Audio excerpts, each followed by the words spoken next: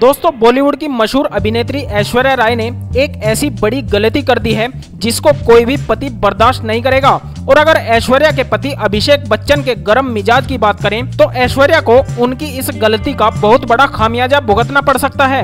अगर आपको भी ऐश्वर्या राय अच्छी लगती हैं, तो इस वीडियो को लाइक और शेयर ज़रूर कर दें। दोस्तों ऐश्वर्या राय की इस गलती पर उनका घर भी टूट सकता है और उनके पति उनसे अलग भी हो सकते हैं लेकिन इससे पहले आपको बता दें कि बॉलीवुड की ऐसी बहुत सारी अभिनेत्रियाँ रही हैं जो कि अपने काम को लेकर बहुत ज़्यादा संजीदा नज़र आती रही हैं। उन्हें किसी भी फ़िल्म का रोल मिले तो वे उसमें अपनी पूरी जान झोंक देती हैं और ऐसे में उनकी एक्टिंग पसंद भी की जाती है इनमें से बहुत सारी अभिनेत्रियाँ होती हैं जो कि अपनी शादी के बाद भी अपना फिल्मी करियर जारी रखना चाहती हैं। लेकिन बहुत बार उनके साथ ऐसा नहीं हो पाता, क्योंकि उनके लाइफ पार्टनर की इस पर सहमति नहीं हो पाती चाहे इसके पीछे का कारण कोई भी क्यों ना हो, इनमें से कुछ अभिनेत्रियाँ तो अपनी मैरिड लाइफ बचाने के लिए, अपने करियर को हमेशा के लिए भूल भी जाती हैं। ऐश्वर्या राय की गिनती भी इन्हीं अभिनेत्रियों में होती है, जो कि अपने काम को सबसे पहले तरजीह देती रही हैं। ऐश्वर्या राय अपनी शादी के बाद काफ़ी समय बॉलीवुड से दूर रही और किसी भी फ़िल्म में नज़र नहीं आई लेकिन अब फिर से